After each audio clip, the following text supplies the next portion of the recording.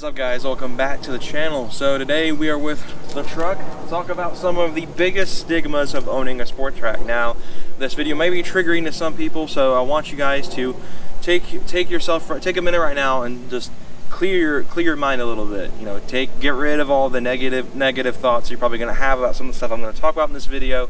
And this is probably gonna be stuff that a lot of you guys have heard if you own these trucks, as much as myself. Um, I heard it quite a lot since I've gotten mine, but we're going to talk about some of the bigger, more um, common stigmas that come with owning a Sport Trac. So this is behind me if you're new to my channel. Hello. Um, this is my 2003 XLS. Um, this is primarily going to be marketed, this video is primarily me towards the Gen 1 guys, but for the Gen 2 guys as well, this video, video will probably apply to you in some way, shape, or form. So uh, yeah, we're going to start off with one of the biggest ones, and that is the it's not a real truck. So let's get to the back of the truck, and I'll demonstrate exactly what I mean by the it's not a real truck stigma that lots of Sport Trac owners, including myself, have gotten in the past. So now we are at the back of my truck. So this is, again, my 2003. And uh, as you guys can see, the bed of the Sport Trac is not big in the slightest. And that is where the biggest, it's not a truck, a real truck stigma comes from is the fact that the bed is a four and a half foot long bed, which is a lot smaller than any any any truck bigger any real truck um, like a Silverado or F-150. The bed is considerably smaller. Now, this is like the, the reason this is contents like heavily contended a lot with these SUT trucks. This isn't just a Sport Trac thing. I mean, the Ridgeline had the same issue. Like a lot of people complain about the Ridgeline's bed being too small. The Avalanche even, which to me really, to be honest, sorry to all my Avalanche owners watching this video, the Avalanche is like the most pointless because it is literally on the same chassis as Tahoe, which is on the same chassis as Silverado. So why the Avalanche exists, we'll never know, but um, it existed. The Escalade EXT, on the other hand, I kind of wish I could have gotten one of those at some point because I really like those trucks. But anyway, the Sport Trac bed is incredibly small, which is why it is commonly said that it is not a real truck. And of course, a lot of people will say, well, um, the Ranger does this, this, and this better. It is if you're looking for hauling, the Ranger is the better of the of the two Ford midsizes from this era. But if you want something that is going to haul all of your friends and family with you at the same time, let's carry some light stuff, nothing too crazy. You know, I don't expect you to be like, hey, let's carry a whole freaking engine in the back of this thing. I mean, you could; it's got the space for it.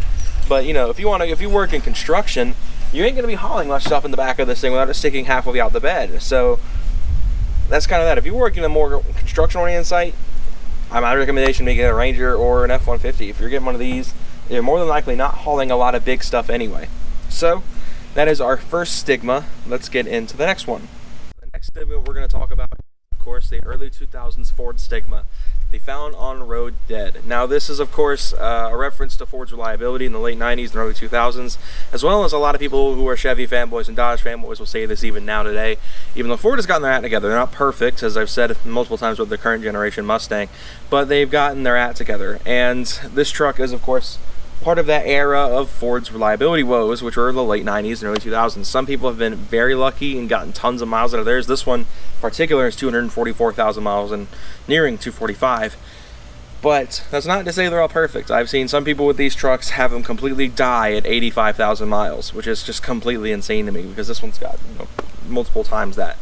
Um, but it is a, it is something to worry about. Is uh, Ford reliability in the early 2000s just wasn't very good. I mean, if you knew how to take care of a car like this one has, for the most part, I mean, I've done the best I can to take care of it. But you know, when it comes down to cars, in general, most brands, if you take really good care of them, you won't have any issues. But um, early 2000s Fords are just notoriously unreliable and very inefficient. This truck in particular um, actually is one of the least fuel efficient V6s I've ever seen, and I'll get into that in a minute. Um, um like that stigma. But one thing that's always been like something that sticks out with a lot of people who own these trucks is that their friends who may not like Ford very much will be like, "Oh, found on the road dead because you got a Ford," and that was something I dealt with a lot when I was in high school. A lot of the friends I, I had, I had the friends I had in high school were Chevy people, and so uh, when they found I was buying a Ford, it was very hectic. But now we're going to move into another one that is more of a mechanical thing, much like I guess you could say the, the bed's not really mechanical, but it's just there. But we're going to talk about one of the mechanical stigmas behind these trucks. So let's get into that. Alright, so next up on our list of stigmas is the engine. So the engine itself is just a stigma because it's it's not the greatest. the 4.0, for those who don't know, which is what powers the Sport Trac and is the only engine to power the Sport Trac, it also powered the regular Explorer SUV, the Mustang for a little while, as well as the Ranger, which is this truck's chassis mate. um, as we did, me and my friend Hayden did a video comparing the Ranger to the Sport Trac uh, about a year ago. And uh, the 4.0 is notoriously, how should I say this, finicky.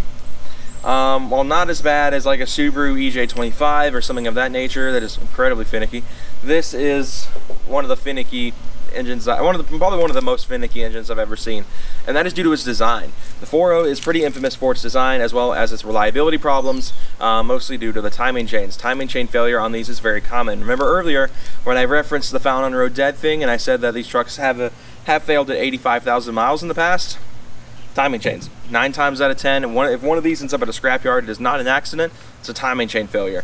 And these engines are not only very expensive to replace, as most shops, as I've seen, will charge you about five grand to replace an engine, um, unless you know how to do it yourself. You know how to do it yourself? Save yourself some money. The engines themselves are not very inexpensive because there were so many of them made so many cars made with this engine in it, not just the Sport Trac. You can pretty much pull a 4.0 out of anything as long as you put the right intake manifold on it and the right, you know, throttle body and stuff like that. Because that's really the only two major things that are different between the two 4.0s, as well as making sure you don't buy the wrong version of it because there is actually two versions of the 4.0. Um, there's a job one and job two, um, which depending on your model years, which one you'll have, and um, you know, obviously a flex fuel and non-flex fuel version. Some, as actually is some models of the Sport Trac that can run E85, which is kind of cool. But the 4.0 is finicky, and it's very poorly designed. The block is supposedly from a pushrod setup, the original 4.0 pushrod motor that powered the older Explorers from the, the late from the mid 90s. And that the reason for that is quite simple because it saves them money, it saves them time. They just retool the block, block a little bit, set it up for an overhead cam setup, and that's game. That's exactly what they did. But what they did to help orient everything was horrible. So what they did is they chose to take the standard 4.0's, uh, the standard pushrod engine's camshaft area and turn it into a jack shaft. Now, what does the jack shaft do? It drives the single most biggest problem with the 4.0, and that is the passenger side rear mounted timing chain. That's right, there's a single overhead cam V6, and one of the timing chains is on the back of the engine.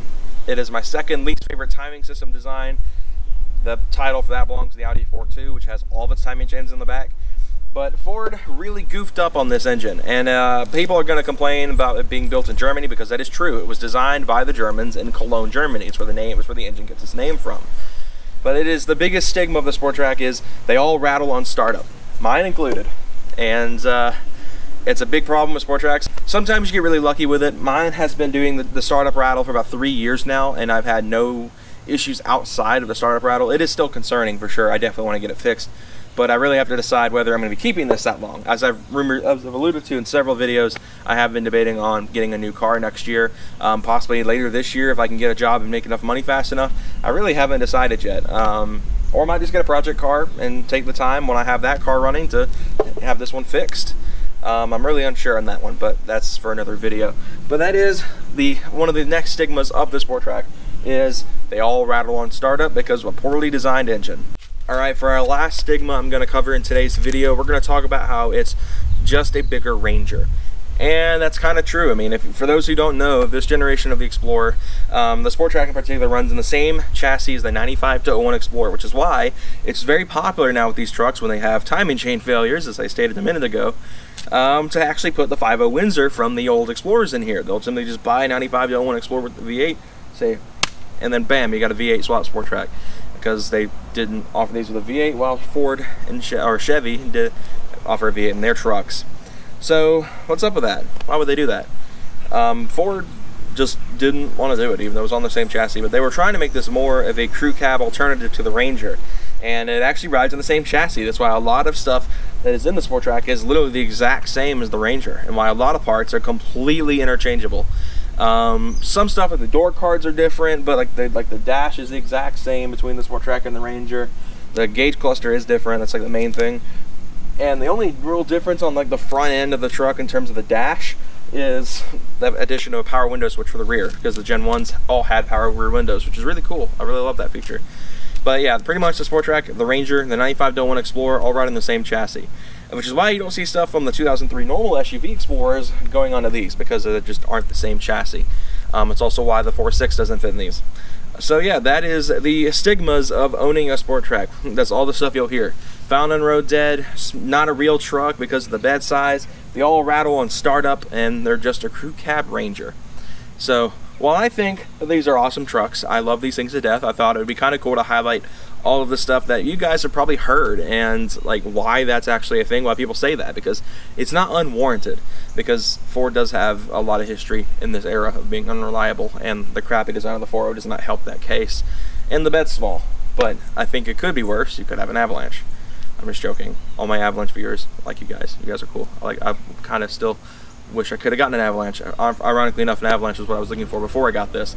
Um, they're just way too expensive. But anyway, guys, I think I'm to wrap things up here. I hope you all enjoyed this video. If you did, be sure to leave a like, subscribe for more content coming soon with my truck, my 2003 full bolt-on truck, um, as we're to be doing some, like, a little bit more mods to this thing. We're to get a retuned for the new AM intake here soon, and then that probably be it for the build, to be honest. The neighbor just started his 2018 Mustang GT with the active exhaust. Sounds pretty good. But anyway, Hope you guys enjoyed. I'll see you guys next time. Have a great day, everyone.